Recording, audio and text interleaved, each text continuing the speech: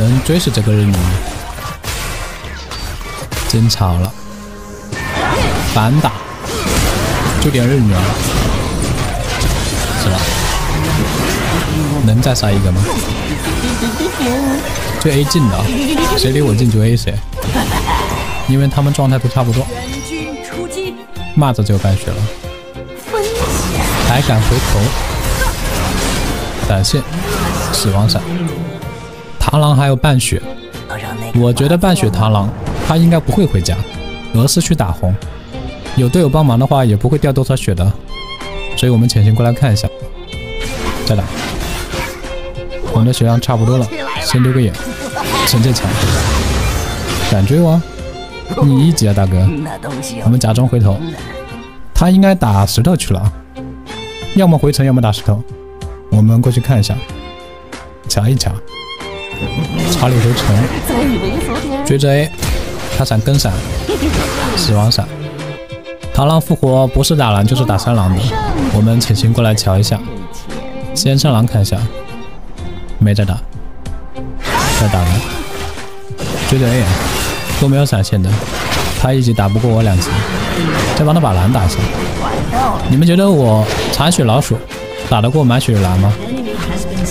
拉扯一下可以打的，但这个拉扯空间太小了，拉过头了会丢失耐心。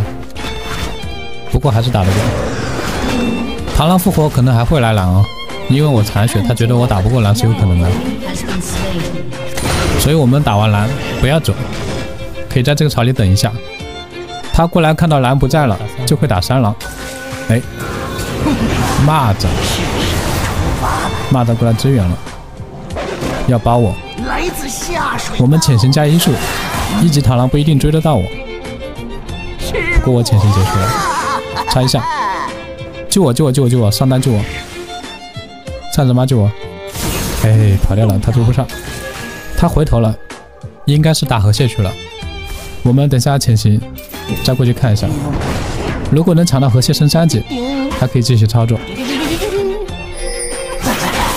惩戒抢线，升三级，丢 W，他追不到我们，回头点 E 一下，哈哈哈哈气死了他！打字互动一下，气死了！正常这里残血老鼠该回家出装备了，但是我们就不走，因为螳螂可能打三狼或蛤蟆去了。我们先蛤蟆看一下，蛤蟆还在，那就有可能打三狼。半血，一级螳螂。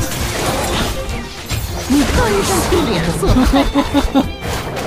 他第二个红刷新了，我们老规矩，潜行过来看一下。哎，红没了，应该是发现我了，不知道哪个草有眼，应该是上面这个草。看到我进入潜行状态过来，我们假装走，先收个河蟹，然后在这个位置潜行。就算这个草里有眼，也看不到我。